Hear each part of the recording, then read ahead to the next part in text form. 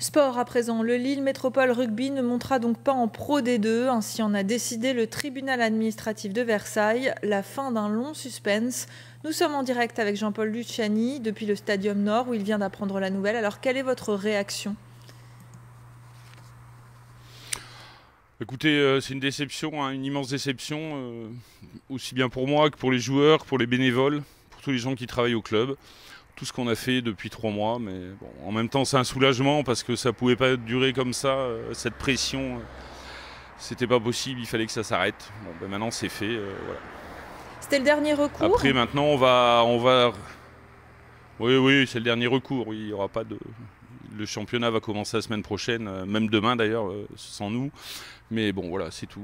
On va repartir en Fédéral 1 on va remonter nos manches et on va recommencer le travail. Euh, on aura beaucoup appris quand même. Et puis euh, voilà quoi. Jean-Paul Luciani, c'est Dax du coup qui prendra votre place en Pro D2. Est-ce que vous avez l'impression d'avoir été victime d'une forme de racisme anti-nordiste? Non, non, je veux pas dire ça, et puis je veux pas me accuser le club de Dax. Euh, les gens, les supporters, les dirigeants de Dax ont fait le même travail que nous. Ils ont défendu leur club, c'est normal. Dans le rugby, on défend son maillot.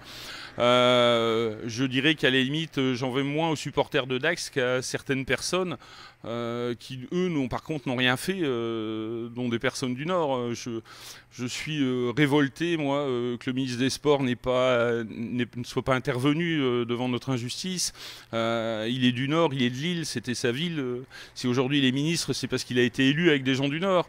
Et ça, il a complètement oublié. Euh, je ne peux pas non plus oublier le président de la Fédération française de rugby qui est venu ici dire il nous faut un club à Lille et qui, au lieu de nous aider, de nous accompagner, nous a mis la tête sous l'eau.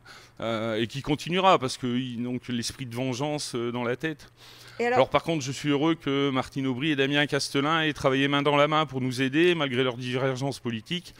Ils ont travaillé dans le bien commun, pour le bien commun du club, de la région.